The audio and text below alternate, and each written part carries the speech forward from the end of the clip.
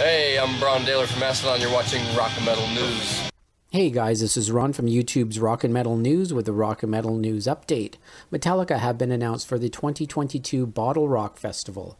It will be held from May 27th to 29th in Napa Valley, California.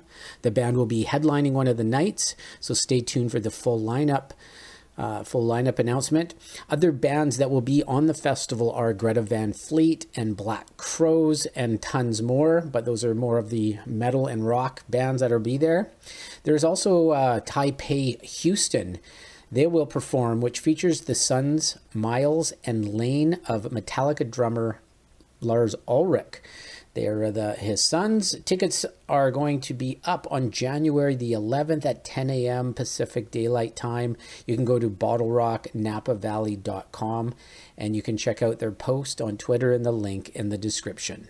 This is Ron from YouTube's Rock and Metal News. Thanks for tuning in.